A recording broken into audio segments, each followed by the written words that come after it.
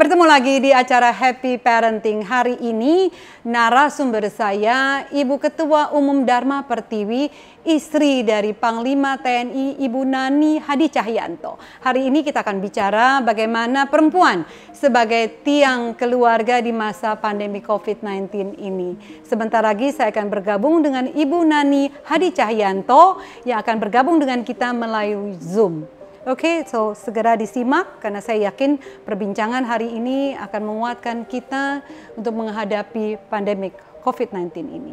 Oke? Okay? Apa kabar teman-teman semua? Keluarga Indonesia kembali di acara Happy Parenting bersama saya Novita Tanri dengan narasumber saya yang istimewa di bulan suci Ramadan Ibu Ketua Umum Dharma Pertiwi dan istri dari Panglima TNI, Ibu Nani Hadi Cahyanto. Terima kasih banyak Ibu Nani sudah bersedia menjadi narasumber di acara Happy Parenting. Satu kehormatan luar biasa Ibu bersedia menjadi narasumber kami. Apa kabar Ibu Nani? Sehat? Alhamdulillah sehat. Bagaimana dengan ibadah puasanya Bu? Semuanya lancar? Alhamdulillah lancar. Kita bicara tentang keluarga. Tema kita hari ini adalah perempuan sebagai tiang keluarga di masa pandemi COVID-19. Tentunya tidak mudah ya Bu ya. Dengan dua bulan, delapan pekan ini kita semuanya diharuskan berada di rumah. Apalagi jatuhnya di bulan puasa, di bulan yang suci, di bulan Ramadan dan tentunya kita sebagai perempuan, sebagai istri, sebagai tiang di dalam keluarga diharuskan dalam tanda petik untuk kuat menghadapi pandemi COVID-19 ini. Izin Bu, bagaimana kegiatan selama dua, dua, dua bulan ini Ibu Nani? Bagaimana kegiatan dengan keluarga, dengan Bapak? Puji syukur Alhamdulillah selama kita bekerja di rumah dan juga beribadah di rumah tentunya ini kesempatan emas buat kita semuanya karena kita selama ini kan disibukkan di luar rumah.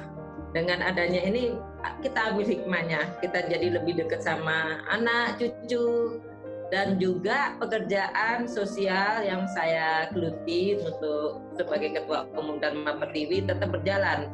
Kita bisa berkoordinasi dengan uh, beberapa pihak berbagai pihak maksud saya untuk menyalurkan uh, kita menggalang namanya Dhamma Pertiwi peduli kemanusiaan yang mana kita uh, menggalang dana untuk membantu para medis untuk mengirim APD dan juga alkes-alkes yang dibutuhkan juga memberikan uh, support berupa nasi box yang kami kirim wow. ke rumah sakit rumah sakit ke puskesmas puskesmas dan juga kepada masyarakat masyarakat yang terdampak COVID-19 ini berupa banyak yang di PHK tentunya dan menjadikan lapangan kerja mereka jadi berkurang seperti Gojek dan sebagainya itu kami beri sembako dan juga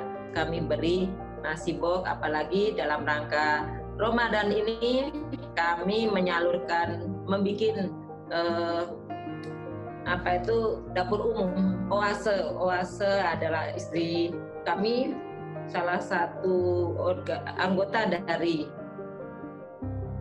oase yaitu organisasi istri kabinet Indonesia Maju eranya Bapak Jokowi yang dipimpin oleh Ibu Negara yang mana berinisiasi inisiatif untuk mendirikan dapur umum yang letaknya di Askas di Pondok Gede yang nah, tiap harinya memasak sekitar 2000 sampai 2500 untuk disalurkan kepada uh, masyarakat yang terdampak COVID-19 ini. Berarti bukan bukan work from home membuat Ibu Nani tidak punya kegiatan apa-apa, malah semakin sibuk ya Bu dengan memberikan bantuan, memberikan sumbangan baik dalam bentuk APD maupun sembako bagi teman-teman kita saat ini yang sedang sangat membutuhkan. Bicara tentang keluarga Bu, bicara Ibu selain di, kita kenal sebagai ibu yang sukses untuk membesarkan kedua Amin. anak dengan Mbak Anika dan juga Letu Penerbang Handika dan juga sudah punya dua orang cucu ya Bu dengan Kenzi dan Kesatria yang usianya enam tahun dan juga tiga bulan. Ibu melihat sebagai perempuan selain berbuat kebaikan seperti yang dilakukan dengan Ibu Nani, um, bagaimana dengan kesehatan mental kita sebagai seorang ibu uh, di dalam rumah, Bu? Mungkin Ibu bisa berbagi apa yang dilakukan yang saat ini uh, 24 jam, 7 hari seminggu berada di rumah uh, untuk penguatan kepada perempuan-perempuan khususnya di Indonesia ini, Bu? Silakan. Uh, untuk keadaan seperti ini, kita tidak paksa untuk belajar untuk ya memang keadaan yang menyebabkan kita harus uh, lockdown, apalagi arahan presiden tidak boleh mudik. Nah, hal ini kita harus menguatkan dan alhamdulillah kan kita sudah teknologi juga maju, jadi silaturahmi tetap jalan walaupun kita posisi yang berbeda-beda. Untuk kegiatan anak-anak, kebetulan saya cucu saya juga cucu di sekolah, jadi di situ alhamdulillah dengan teknologi sudah bisa belajar lewat internet dan juga didukung oleh pemerintah berupa TV RI yang anukan tentang edukasi itu sangat bermanfaat sekali dan juga kepada sekolah-sekolah yang ada di bawah naungan Dharma Perti pun juga berjalan normal untuk melaksanakan uh, sekolah dalam online. Jadi hubungan keluarga pun juga tidak masalah, walaupun anak saya di Madiun sana tidak bisa kembali saat Lebaran, tapi kami tetap bisa komunikasi tiap hari untuk saling menguatkan. Kita harus bisa sama-sama menjaga dan untuk ikut serta memutus rantai penyebaran COVID-19 sehingga Indonesia aman dari uh, dan terlepas dari COVID-19 segera. Amin Bu.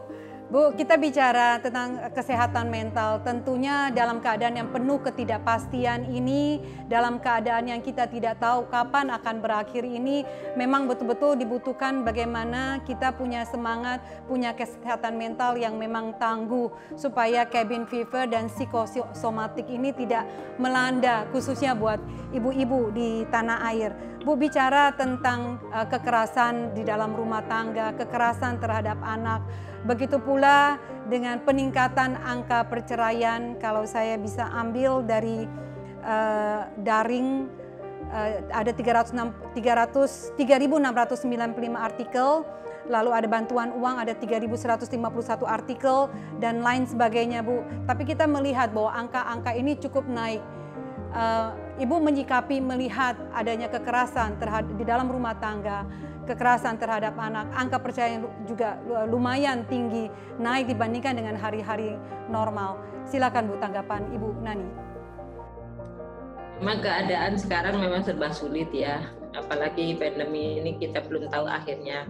Yang dampaknya di sektor ekonomi yang jelas, sehingga mungkin menyebabkan ada gejolak-gejolak yang timbul akhirnya timbul di antaranya kekerasan rumah tangga, pasti itu sebabnya uh, ada sebabnya. Ada sebabnya mungkin di antaranya pemajunya adalah ekonomi. Saya berharap ibu-ibu harus tangguh dan bisa memecahkan persoalan dengan baik dan bijak serta cerdas dalam menyikapinya sehingga tidak membebankan suami yang sedang juga susah untuk mencari nafkah saat ini.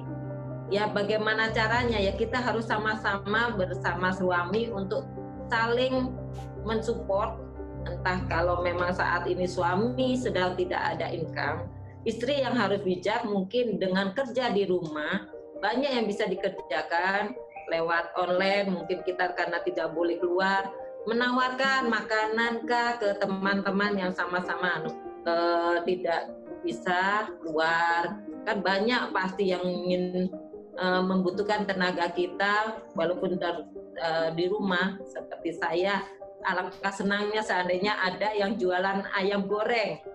Nah, di sini saya bisa pesan ayam gorengnya ataupun jualan botok balangkali saya bisa pesan. Nah, itu bisa dimanfaatkan hal-hal yang kiranya bisa menjadi income keluarga. Baik, menjadi kreatif ya Bu ya, menjadi ya, kreatif, menjadi kreatif itu bisa sehingga masalah problem-problem yang timbul ada KDRT itu biasanya umumnya timbul ya permasalahan gesek-gesekan yang di antaranya ekonomi yang menyebabkan. Baik Bu. Terima kasih Bu. Baik Bu, saya tidak akan mengganggu waktu Ibu lebih banyak.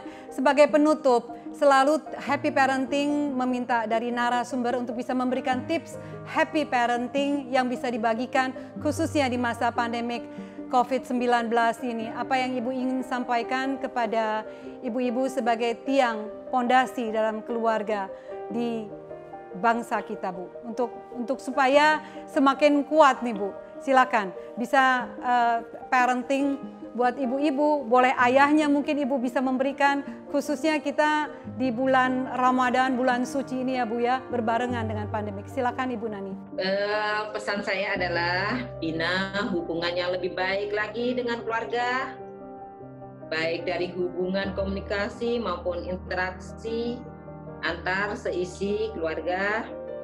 Kenali diri kita lebih dalam lagi isi kekurangan yang kita miliki, sehingga kita selalu punya hal baru untuk dikomunikasikan dalam keluarga.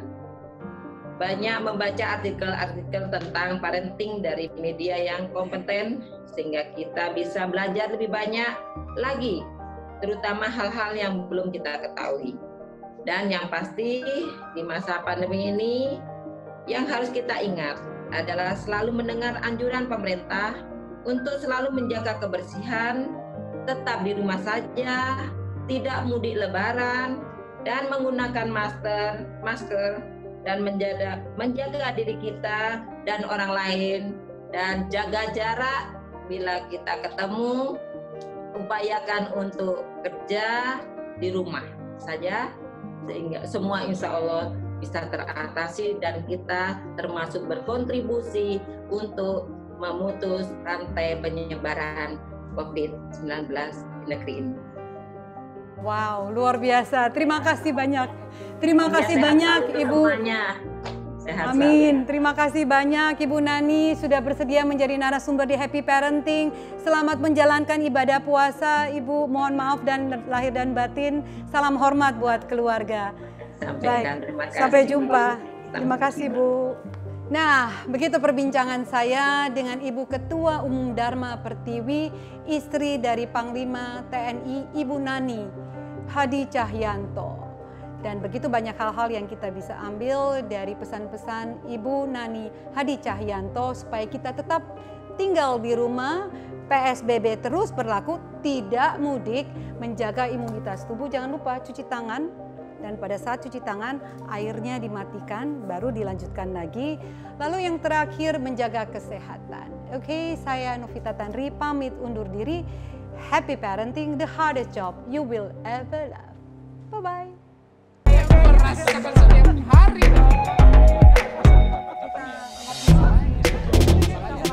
Gimana?